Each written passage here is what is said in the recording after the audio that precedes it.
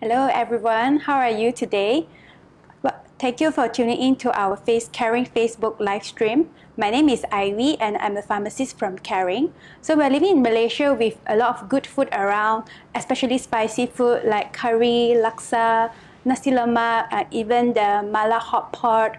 But have you ever wondered when we want to indulge in all this good food, but we are worried about getting like heartburn or indigestion later on? So let's say if you have this uh, problem as well, do feel free to stay until the end of this Facebook live session as we'll be talking about the topic on GERD as well as dyspepsia. So I'm very honored to invite a special guest today, Dr. Alex Leow, consultant gastroenterology from Pantai Hospital Kuala Lumpur. Hello, Dr. Alex. How are you today? Hello, Ivy. A very good afternoon to you. And uh, it's a lovely Sunday, isn't it? Yeah. Uh, we have actually all the audience tuning in uh, for our very beneficial uh, session later. It's a good day. Yeah. Yeah. Okay, so um, doctor, can I know what are the differences between um, dyspepsia, which is indigestion, and also GERD, which is uh, gastro, yeah, yeah. the acid reflux? So I think you mentioned about good food just now. I totally hear you, and uh, Yeah. especially in living in Malaysia, we just can't actually help ourselves by enjoying and indulging in all the good food. Yeah, but exactly. that comes with consequences, unfortunately, especially with all the spices that we love. true, yeah. uh, so. So today, I think our main purpose is to actually illustrate uh, acid-related issue. Mm-hmm. And when it comes to acid-related uh, diseases, there are few conditions like what you mentioned, uh, reflux syndrome, Mm-hmm. Yes. and of course, the other one is dyspepsia. So dyspepsia is a medical term that we use to illustrate indigestion. Indigestion, All right. So in order to start our our conversation as well as the discussion, I think it's always good to understand what's the structure related to our stomach and esophagus. And for that, I think we just tune into this uh, diagram over here.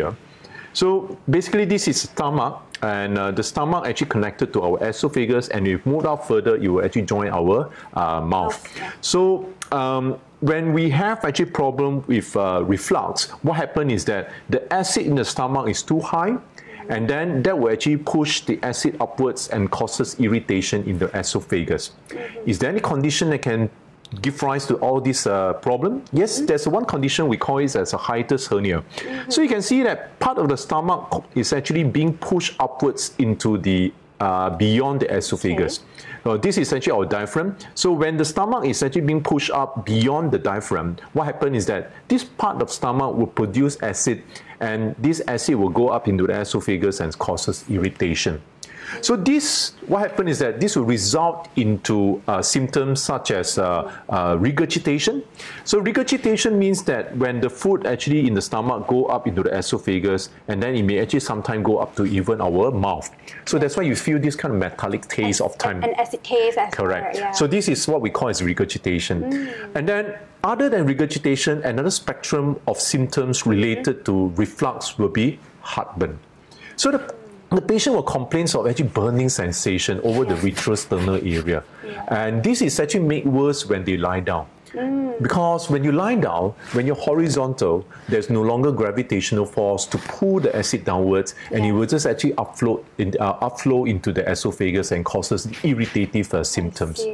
So reflux, in a nutshell, there are only two. So the number one is actually regurgitation, and of course you have uh, this uh, heartburn as well. Yeah. Then what is indigestion?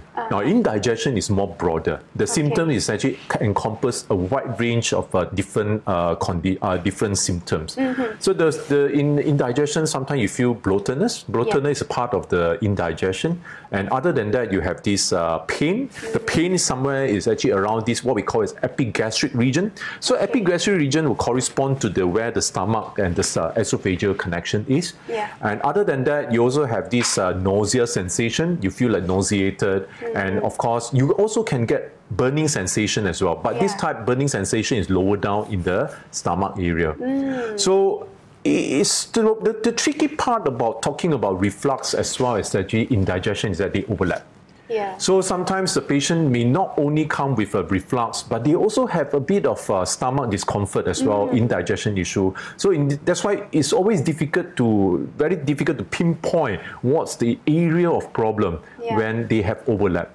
So in simple manner, mm-hmm. when we talk about reflux, it just means that you have symptoms of regurgitation, you have mm-hmm. symptoms of uh, burning sensation. Mm. But when you talk about indigestion, the symptoms will extend into you have bloatedness, you have actually pain, and then you have nausea sensation, etc. Mm. So this is how we differentiate between reflux as well as actually indigestion. indigestion. So also important to find out where the pain is. So It is. It's important to ask patient like in It is detail. because Yeah, the yeah. Treatment. Mm-hmm. That's why a lot of time when you actually a patient being taken the medication already, but they still feel inadequate. And why is that so? Because the diagnosis wasn't correct. Mm-hmm. Yeah. So as a doctor, even actually for healthcare personnel like yourself, Mm-hmm. pharmacists, it's always important to pinpoint the exact complaints of our patient. Yeah. That's why when you come to medical, it's always important to talk about history, isn't it? Yeah, So the history. history is very crucial in order to guide the doctor to give proper treatment for the patient. Mm-hmm. That's Yeah. true. That's true.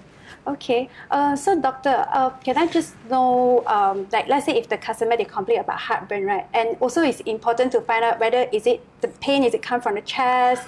It's important to differentiate, right? I think- Yes, I think when, so. Now we are going to go into more details of uh, reflux uh, symptoms of reflux syndrome already. Yeah. So reflux syndrome, as I mentioned just now, although there are two major symptoms that the patient complains, such as uh, uh, uh, regurgitation and heartburn, and you see, we use the term heartburn. So Yeah. sometimes patient will come to me and say that, "Hey doctor, I feel like the end of the world. Is it heart attack or not?" Yeah. And in fact, I do see patient before that came to me, presumably is reflux, but Yeah. turned out to be a heart attack. Yeah, exactly. So because uh, the symptoms sometimes is actually uh, quite similar in that sense. They get palpitation as well at And night. they even get pain that extends towards the left arm, left and then jaw. they and- can't sleep at night. They Yeah. have difficulty in breathing at True. time. So how do we differentiate whether this is a heart origin of problem or not? Mm. Simple. As a layman, you just need to remember: if you exert yourself, if you walk around, you climb staircases, and you feel that you're very uncomfortable, the symptoms get worse. This could be potentially heart in origin. So this is how we actually differentiate between a simple reflux versus a heart problem. Yeah, yeah. But on the other hand, we mentioned that there are actually reflux uh, related, such as heartburn and regurgitation. Mm. Yeah. There's also another spectrum that related to uh, uh, this uh, heart, uh, this uh, reflux symptoms would be post-nasal drip. Mm. So we actually have this. Sometimes we need to rule out whether it's because of the nostril blockade that causes irritation of the throat or Yeah, causes any difficulty in swallowing. Mm. So another thing that we need to actually rule out whether there's any uh, uh, nose-related problem. Mm. And other than that, reflux sometimes can also presented as extra esophageal symptoms. What do we mean by extra esophageal? Meaning that it's not related to esophagus, such as cough, worsening of uh, asthmatic care, Mm. Yeah. and then as what we mentioned just now, this kind of uh, heart issue, you know, Yeah, related yeah, or not. true. So I think it's very complex for, for the patient to probably fine tune everything. But I think it's more importantly, if you're uncertain about your symptoms, just go and see your doctor, or even actually go to uh, pharmacists and then uh, ask them to assist you to dissect your symptoms. Yeah, that's really, really important because it's important to find out the diagnosis first before you actually go for the right treatment, right? Exactly. Okay. Uh, so, doctor, does um, GERD affect only a specific age group? Like, for example, even pregnant lady or children, can they get GERD actually? So I think this is a very good question. Uh, which population get more uh, reflux symptoms? Uh, we in recent years, uh, in, when I was still in UM, we did a study to look into this uh, prevalence of uh, uh, reflux as well as actually erosive esophagitis, and we noted that over the years, the prevalence of esophagitis actually increases over the years, and we start asking ourselves, why is that so? When we did sub-analysis, we realized that Yeah. obesity is the main culprit.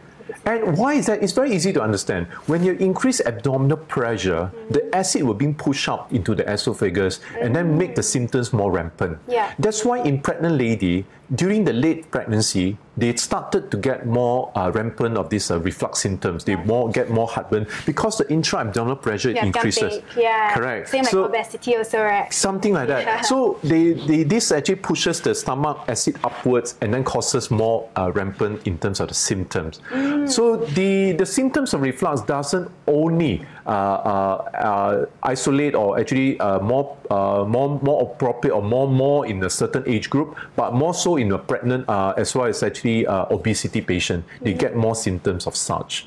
I see, I see. So, um, doctor, with this, right, um, is there any like a specific tools, you know, to identify whether it is a GERD Is that like a good tool to identify? So uh, I think in recent years we are trying to aid patients to come to uh, uh, at least understanding the symptoms better. I always believe in one thing: empowerment of patient is crucial. Yeah. Empowerment in terms of understanding the disease, Mm-hmm. as well as empowerment for patient to actually uh, identify the symptoms. So understanding the disease, then identifying the symptoms, and ultimately will help them to adhere to the medication as well. Mm. So I think in recent years there have been actually a lot of clinical trials, and we are fortunate that uh, we are able to come up with a questionnaire called GERD-Q. Oh, GERD-Q. So GERD-Q is actually a good tool. Uh, I think we will just bring up the this uh, this. Uh, this uh, very important questionnaire. So GERD-Q is where the, the from the clinical trial as well as a various uh, clinical study, and we come up with a certain questionnaire to aid our patient to come to diagnosis one thing, and then to identify the disease severity as well as how impactful the symptom was or is towards the disease itself. So GERD-Q is one of it, and I think uh, in, uh, in weeks to come, probably we'll put this up in Caring Pharmacy's uh, Oh, yeah. website, and then hopefully I we can share with even, yes, yeah. so we can share with our audience uh, regarding to all this GERD-Q. So I think in a nutshell, I just want to show you all. Yeah. So there are six questions over here. The first actually we look into symptoms differ from patient to patient or person to person. So they ask about this. Remember we were mentioning about heartburn and then we were mentioning about regurgitation as well. So these two questions is to find out whether you have this component of uh, reflux symptoms. And then other than that, they will start asking, how often do you get this kind of symptom? And then other than that, they start asking about how impactful was the symptom. So they uh, do you have any uh, pain? And then do you have any nausea symptoms? So this is essentially to illustrate whether the disease is more severe or there's any overlap symptoms or not. And ultimately, in order to understand more that how does this symptom impact on your life, for instance, your sleep disturbances, or even actually uh, with medication it doesn't get better, then you know that your disease is actually more severe. Once you actually click all the score and then you actually add them up, and with the total scoring of points, then you start actually looking into the chart. If you have actually higher score, this actually shows that you are probably having a gut-related diseases and complication to the disease is probably higher, meaning that you have a higher chance to get ulceration or erosion when your score is high. And another component to look into is that if you have actually high score over these two segments that we mentioned just now, you have night symptoms and you don't respond with treatment, then this render into you have a more destructive uh, reflux disease. And when you have more destructive disease, probably you need to actually consider getting more investigation. Maybe perhaps you need to see uh, a gastroenterologist to find out further. If not, probably actually by uh, looking into uh, this uh, pharmacy or go to your visit your community pharmacies, probably they can each uh, actually assist you in terms of the treatment of the Yeah. gut-related problem. Definitely. Yep. Hmm. Okay. So I think these are good tools. In fact, uh, in recent times, I think with uh, help from uh, pharmacies as well as GP, we have been trying to utilize these two in order to aid our patient, in order to help our patient in understanding the disease. And moreover, I think it also helped to understand the disease severity as well. Yeah. And with that, once you understand the disease severity, then at least uh, in terms of adherence to treatment, probably we can improve on that. Yeah. So this is a tools to empower our patient again. I think which is actually important. Yeah. Okay. Thank you, doctor. Okay. So these are GERD-Q questions. Um, so, doctor, can I know, um, like, let's say with this, like, let's say if it's not um, treated, what will happen then? Uh, yeah, so it's just like any diseases, uh, like diabetes or even high blood pressure. If you don't treat the disease properly, you get into complication. We know for diabetes, it can impact on our kidney, it can impact on our heart. The risk of stroke is higher. Likewise, in uh, esophageal-related reflux disease, you can also get complication to it. So, what are the complications related to this kind of uh, reflux disease? Would be number one, if we have actually prolonged uh, with uh, you have prolonged symptoms such as a reflux that not well controlled, Yeah. then you tend to get erosion. Yeah. You might and just now we mentioned about reflux, actually the acid gone upwards, and then it will cause burning of this uh, esophagus, and it may cause inflammation. We call it as uh, esophagitis, and if the esophagitis is not well controlled, then it may actually gone into ulceration in the esophagus. That will be more serious, right? Oh, certainly. So the problem is actually all these uh, symptoms is that the correlation between the esophageal uh, reflux symptoms versus the finding from the scope, there's no correlation. So what I mean by that is that we do see patients that come to scope. Yeah. They have very severe symptoms, but when you do the scope, eh, it's normal. Oh. But on the other hand, we have patients that have very bad erosion, we have very bad uh, ulceration, but we ask the symptom, eh, no, I, I'm pretty well. So Oh. that's why the problem with reflux is that the severity of symptom doesn't correlate very well with what we see during the scope. I see. But if I always tell the patient like this, if you have simple reflux, usually with medication, you will get better with like antacids, uh, or with, uh, with any acid suppressive medication, you'll get better. But if your symptoms do not get better with treatment, that's the time that you need to visit a gastroenterologist and get a scope done already. All right. So we mentioned just now, if you don't treat it properly, you will get inflammation, esophagitis. And number two, you may get ulceration. Mm-hmm. And then number three, so when you get this kind of prolonged inflammation and prolonged ulceration, Yeah. I always use the analogy of like if you have a cut in your hand, mm-hmm. once the, the cut heal, what will happen? your scar will happen. Exactly, Yeah. scarring will happen. So likewise, scarring will happen in our esophagus as well. And when scarring occur, unfortunately, it become so all your scar are all very rigid. If you know, Yeah. like you know, your Yeah. skin become very very rigid, and it's a, it's sort of like very tense as well. Mm-hmm. So when this occur in the esophagus, it causes narrowing of the esophagus. And that's when we patient will start complaining, hey, I feel that something is stuck in my throat. Ah, like Uh, difficulty swallowing. Correct, Ah, correct. okay. So this is also another part of complication related to acid uh, reflux syndrome. Hmm. And ultimately, if again the disease is not well controlled, then the patient may start having a condition called Barrett's esophagus. Barrett's esophagus. So, how do we explain Barrett's esophagus? Now, in order to understand Barrett's esophagus, we mm-hmm. first of all need to understand the cell that line our stomach is mm. different from the cells that line our esophagus. Mm. The cell that lines our esophagus is called squamous cell. Squamous Okay. cell means that it's square, square, so it's very thin. Uh-huh. And this type of cell, unfortunately, cannot withstand acidity. Once it exposed to acid, you you will su- help, help, cannot, I cannot withstand it. Okay. Then the cell that line the stomach is called columnar cell. Columnar. Columnar cell is actually like a column, so it's actually taller. And this columnar cell, because it's actually in the stomach, it can withstand, it can withstand acidity. yeah, yeah. So our human body is very marvelous. When you actually have long-term exposure to the acid, the cell in the esophagus will start calling for help. Mm-hmm. The stomach cell will start migrating upwards.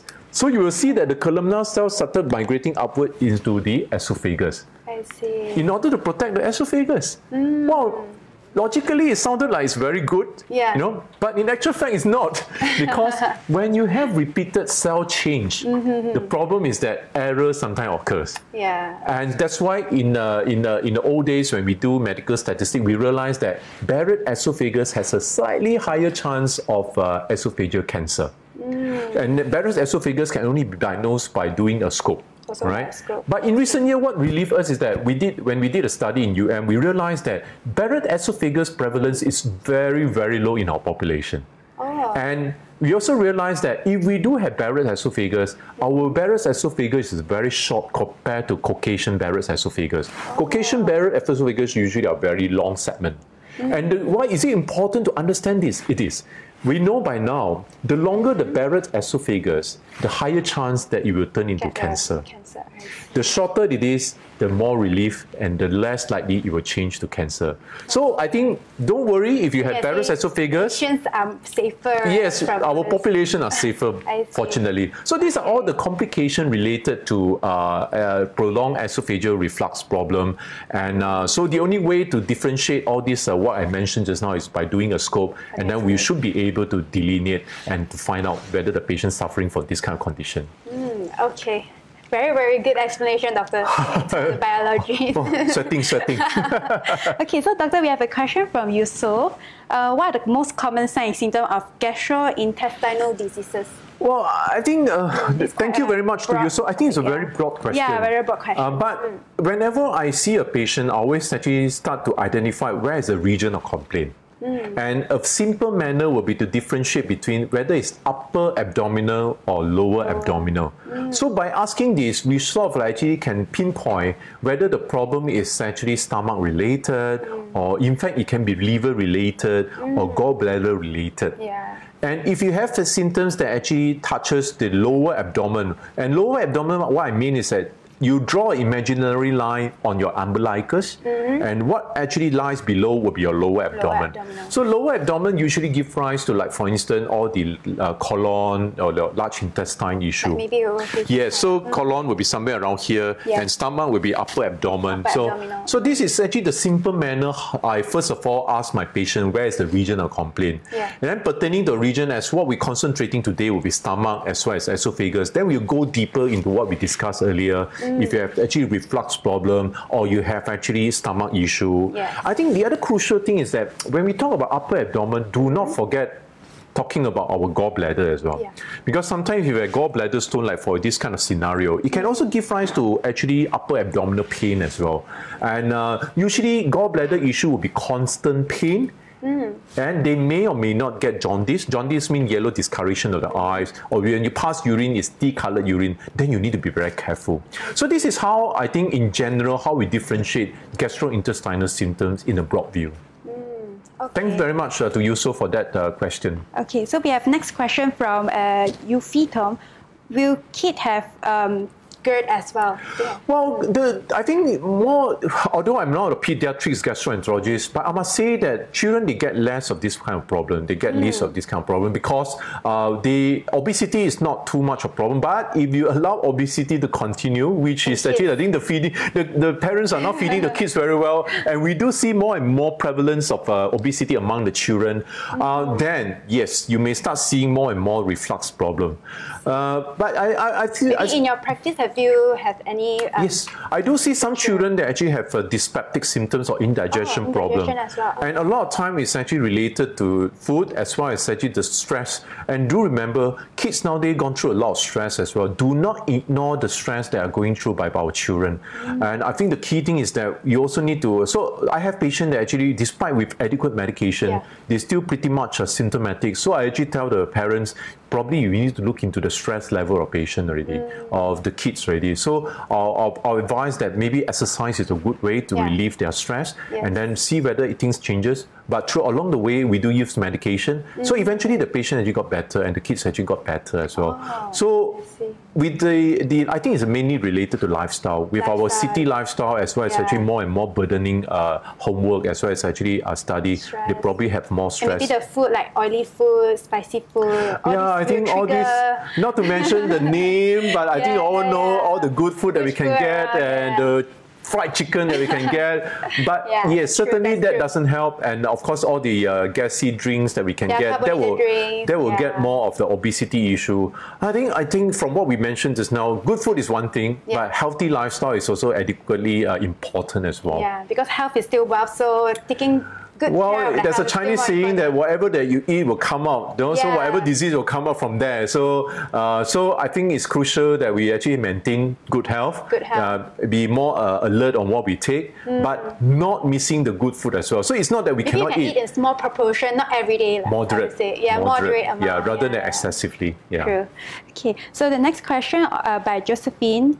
Uh, will GERD get worse as we get older?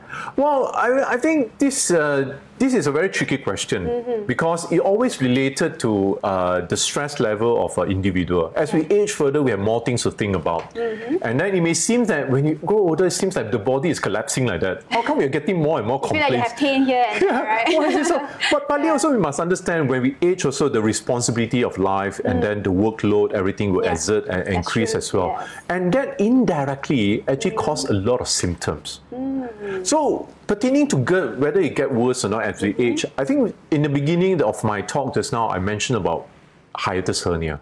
So hiatus hernia is uh, actually one of the commonest symptoms to uh, to give rise to refractory GERD symptoms. So when we age, sometimes the hiatus hernia may get worse, and then sometimes the, uh, the the symptoms may get worse. But more importantly, I think it's actually the lifestyle that we are going through Yes. increases the acid production and thus give rise to more uncontrolled uh, reflux symptoms. And I think with proper treatment uh, and empowerment of the patient, I think we will be able to reduce the discomfort. So there are, there are a few ways. I think later we'll talk about how we manage the disease. I will go in more details. Yeah, but I think definitely. to answer the question whether it's age related or not, uh, indirectly yes, but more so because of the lifestyle and the stress level that we are going through, and perhaps uh, because of the uh, hiatus hernia become more uh, severe as we age. And then not to mention obesity, etc. True.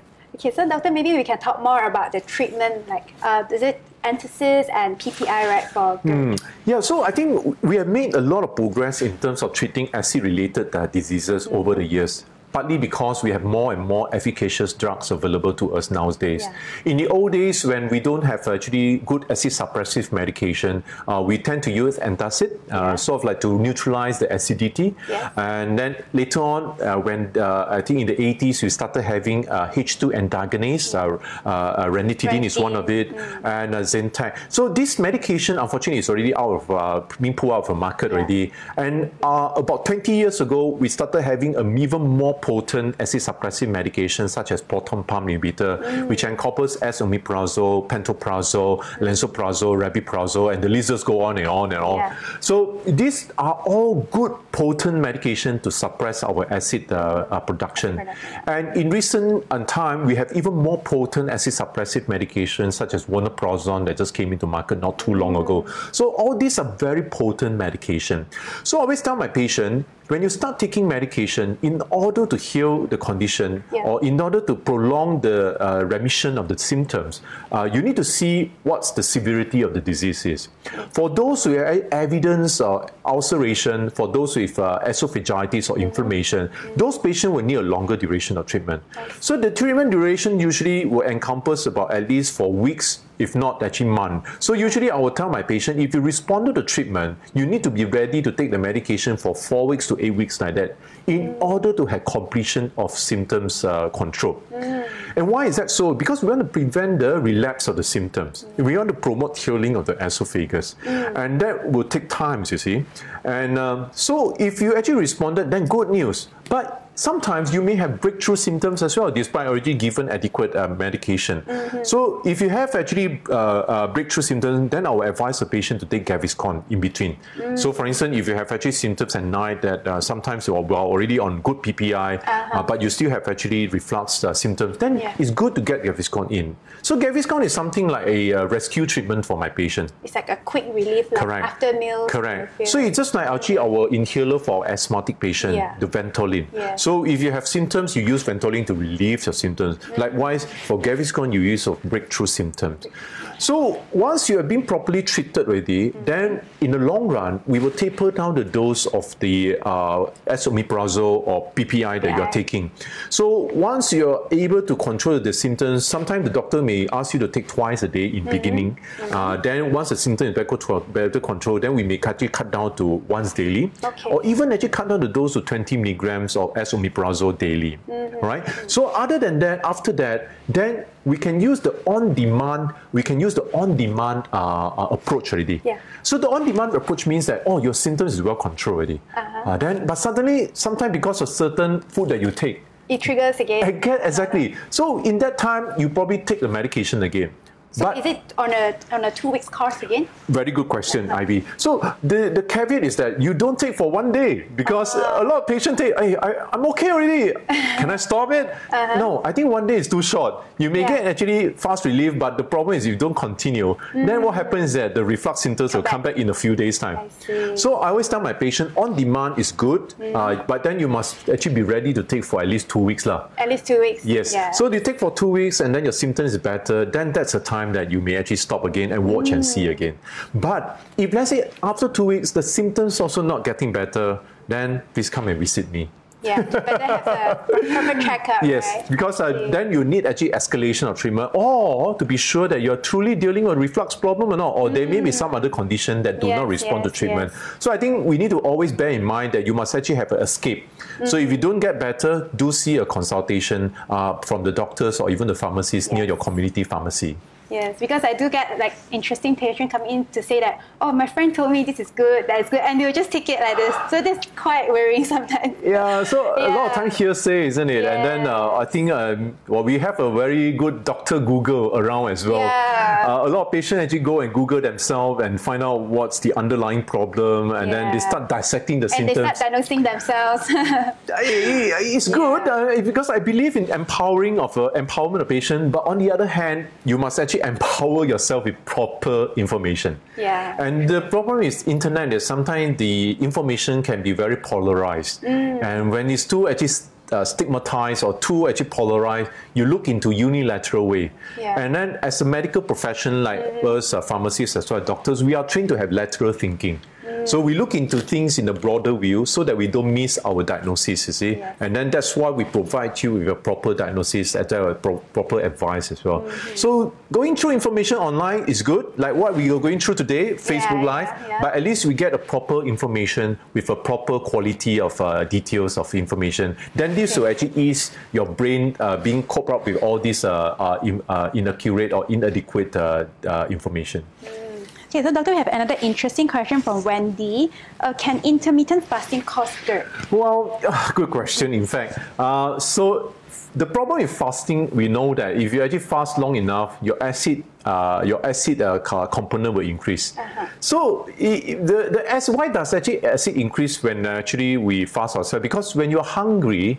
Your brain will trigger that you want to eat something, and your when your brain uh, started thinking about food, uh, Yeah. the acid will come out. I think in medical school we studied before. So there's a study looking into the uh, the uh, Uh-huh. the dogs. Uh, so what happened is that if you provide actually uh, the bell and the food, so you train the dog first, and then they measure the acidity production. So when they serve the food, and then at the same time they bring the bell, Uh-huh. and then they realize that uh, this time uh, the acid production is increased. Oh. And then in later on, they stop actually giving the food to the dog, but they only ring the bell. So by imagining it, the feel the association, yes, the acid will come out. Yeah, yeah. So I think intermittent fasting though is good in one way to actually uh, for uh, weight control as well as health wise. But if you do it in extreme ways and your stomach is a very sensitive stomach in the production of acid, then you're going to run into trouble.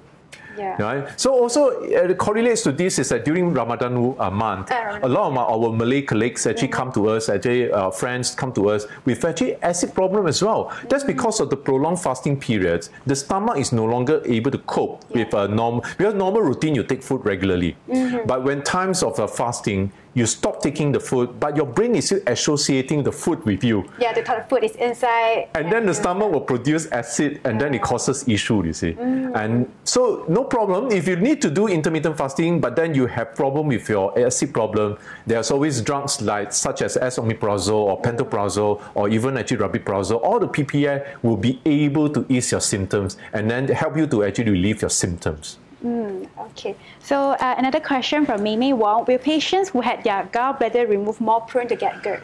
A very good question, a very relevant question. So, i- in order to understand the uh, gallbladder's uh, function, we need to understand what the gallbladder does. The gallbladder is a center of concentrating our bile salt. So, bile salt actually comes from our liver.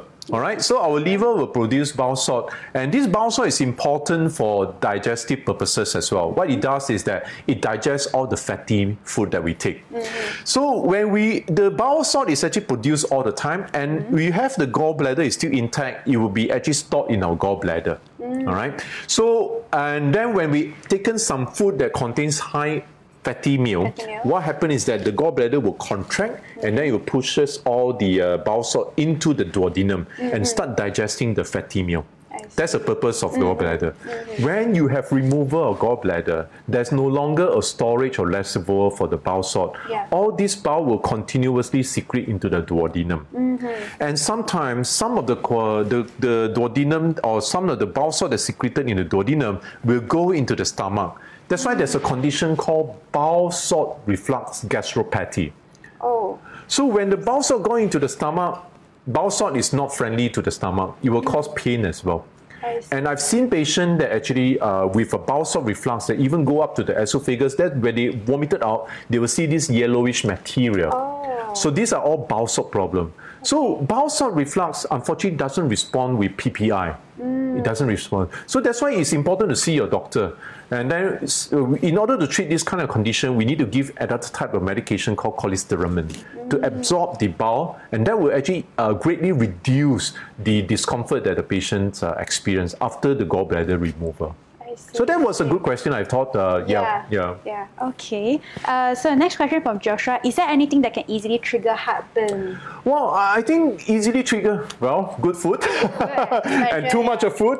so if you take too much of food at one go, certainly you have problem or you actually uh, take the food and then immediately go to bed, oh, you're Yeah. going to suffer your reflux problem. Yeah. Uh, so that's the most commonest issue. Of course, smoking doesn't help as well because smoking also increases the... Uh, It the inflammation, right? it not only inflammation, but it also increase the acid production as well. Mm. So uh, that will actually cause you to have more uh, uncontrolled reflux symptoms. and even with alcohol as well. Yep, to a certain extent, yes. Uh, so moderate is actually the way to go rather than too much of food or too much of good food at one go. Okay, so we have another question. Uh, so she mentioned that when she breathe in and breathe out in the morning, she has pain in the chest. Is that due to GERD? Well, difficult to say. So uh, you need to ask yourself uh, whether you have any exertional, like what we mentioned now. When the patient come to us with uh, reflux symptoms or any chest discomfort, we must always find out whether you have a heart problem or not. So the best way is ask yourself whether when you walk around or you exert yourself, you uh, go up staircases, does your symptom get worse or not? Or do you feel breathless? Correct. So if you do have that kind of quest- uh, question, uh, you do have that kind of symptoms, it's best to consult a doctor. All right. Then the second thing is that whether you have reflux or not. So regurgitation, heartburn, as we mentioned just now, can also cause this kind of uh, uh, panic attack as well. Yeah. And lastly, probably it's not related to all. It probably is just an emotional uh, heights that causes you to have this panic attack or anxiety attacks. So that's another probability that can cause this kind of issue. So very difficult to pinpoint straight away in this kind of platform. But if you have any doubts, you're not certain, it's better to consult your nearest pharmacy or nearest uh, doctors that you can get more details. Okay. So, doctor, just now you were mentioning about um, proton pump inhibitor, right? Can I know is there any side effect if patient were to take it for a lifetime? Well, this is a very good question, Ivy, and I think we get this a lot from our patient. Mm. Yeah. Uh, so they are concerned, you know, taking this. Well, I think the whole issue of the long-term uh, side effects of PPI comes from an early study uh, uh, that actually reported in uh, about 20 years ago. So, what are the possible uh, concern of long-term PPI? Would be uh, there has been report that it increases the risk of bowel infection, Mm-hmm. such as Clostridium difficile infection. It increases the risk of hypomagnesemia. There's also correlation to Alzheimer disease. Uh-huh. Oh, Alzheimer disease, Alzheimer. yes, Wow, okay. Alzheimer disease, uh, like senile disease and osteoporosis, Yeah. etc., etc. So the list actually go on and go on. But before we actually go into this, uh, we must understand how the study is derived. So this study was done in Europe. Uh, no, study that was done in uh, America. They look into veterans army. So veterans army are those retired armies. They are elderly to come with. Yeah. So what it does is that they ask all the army to come, all these veteran armies when they are actually under long-term follow-up, because army got very good care in American system. Okay. So they ask all these veteran armies to come, and then they start asking, "Hmm, among you all, who actually takes PPI? Uh-huh. And then how long have you been taking PPI? So these are the information again. Then they start asking, oh, do you have osteoporosis? Oh, do you have actually senile disease? Ah. So you can see now, these are Ah. It's all very subjective, right? Whether Yes, and then it open up for or for bias as well. And there are so many confounding factors that can contribute to whatever that we mentioned just now. Yeah. There's no proper documentation. There's no it's just only hearsay by asking the patient how long have you been taking PPI. So there's not proper documentation on the medication per se. So that's why it actually prone to bias and the, the quality of study unfortunately is very low. So fortunately, in recent years, in order to actually uh, uh, refute this kind of argument, there has been a lot of clinical trial as well as actually prospective study. What do we mean by prospective study? Means that you follow up the patient from the day that they started on PPI, Uh-huh. and then you see and you follow them out. Yes. So at least this is a good study, although it's a qualitative study, but it's a prospective study. And there are also clinical trial. The, in recent uh, months, it just came out in a publication. Uh, there's a study looking into three years of uh, follow-up for patients who are actually on PPI. Yeah. None of what we mentioned just now actually are significant. For three years. For three years at least. Oh, So this patient has been taking medication for three years, you know. The thing, that's what they actually. So do we need to take medication for three years? Yes, they are because for patients that actually have history of upper GI bleed, Yeah. unfortunately they are dependent on PPI because they need PPI to protect their stomach because they are on aspirin or they are on Uh-huh. chronic long-term NSAID. Uh, NSAID is a painkiller Yeah, because all this can cause um, ulcer formation. Mm. So this kind of patient being followed up for three years and then they are be given, so their risk is essentially the same if you compare to actually placebo. Mm. All right. So there's no increased uh, risk of uh, what we mentioned like osteoporosis or hypomagnesemia or Mm-hmm. Alzheimer disease at what we mentioned around. Although there's this slight increased risk of uh, Clostridium difficile infection, but otherwise the rest are all not evidence. So be, it's still safe to give uh, PPI for long term. Mm. But my approach is always like this. If you don't need medication, of course, as a doctor, we will advise you to cut down the dose or even actually take it as the lowest dose possible, even up to actually every other day kind of medication. But if your condition actually deemed necessary or deemed needed to take mm. long-term PPI, it's still safe to continue taking it. Okay. Okay. Yeah, so it's still benefit of the benefit outweighs the risk of the Yes. drug. So we just need to actually, I think pharmacists also look into the risk and balance. So it- it's always an equation between the benefit and the risk. Yes. So if your benefit outweighs the risk, then I think it's still safe to continue the medication. Definitely. But the caveat is to reduce the dose as low as possible and Mm-hmm. perhaps actually uh, duration-wise we make it short and then on demand basis. Okay, so I have a question from this. Um, uh, so he said he had met a gastroenterologist before, but it came back again. So any reasons like causing this problem? So basically, it relapsed. The Yes. disease. So I think first of all, we need to ask ourselves whether the duration of treatment is adequate or not. As I mentioned to just now, uh, you probably need to take at least a few months or two months or even actually uh, sometimes even more Yeah. uh, before you taper down the dose. And as I said also, there are patients that actually uh, had the refractory uh, GERD as well, which may need long-term medication. Uh, so the other thing is actually whether the diagnosis is correct or not. So if you actually responded, but then it recur again, whether you need to ask yourself whether the diagnosis is correct or not.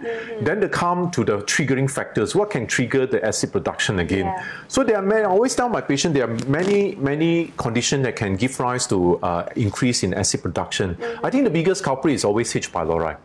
So, uh, although not so much in terms of H. pylori in reducing the uh, uh, reflux symptoms, but we know that H. pylori actually causes uh, indigestion issue in a Yeah. broad, broad view. And so it's always crucial to make sure that you don't have H. pylori infection.